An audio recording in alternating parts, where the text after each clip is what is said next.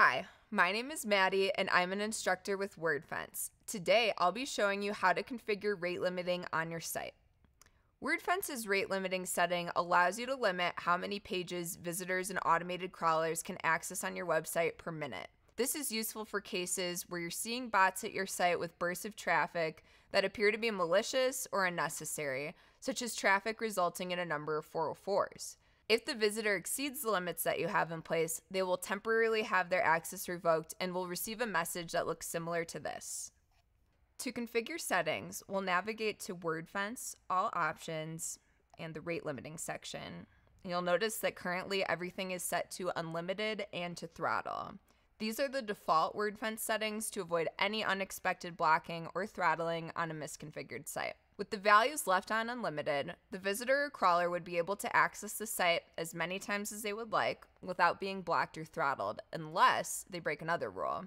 In this case, throttled means that they will be unable to load the site for one minute, and blocked means they will be unable to load the site for the amount of time defined in how long is an IP address blocked when it breaks a rule. We recommend being sure your site is well configured and not loading any unexpected 404s in the browser console before changing any of the settings too strictly to avoid unwanted blocking.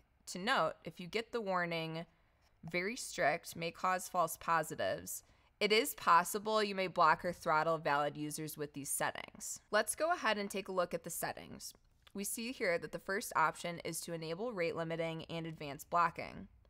By default, this option is enabled, and we recommend leaving this enabled unless you're debugging blocking issues on the site.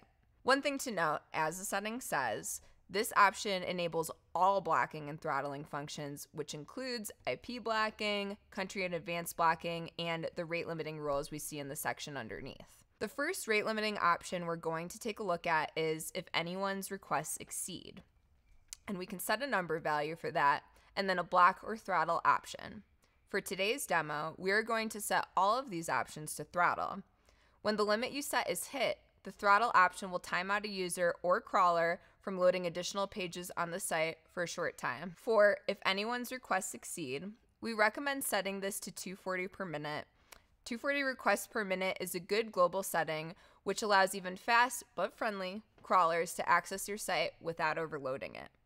If you're noticing an abundance of traffic overloading your site, this number could be as low as 120 per minute. The same goes with the rest of these settings as there's room to adjust these recommended settings as necessary. Let's move over to if a crawler's page views exceed.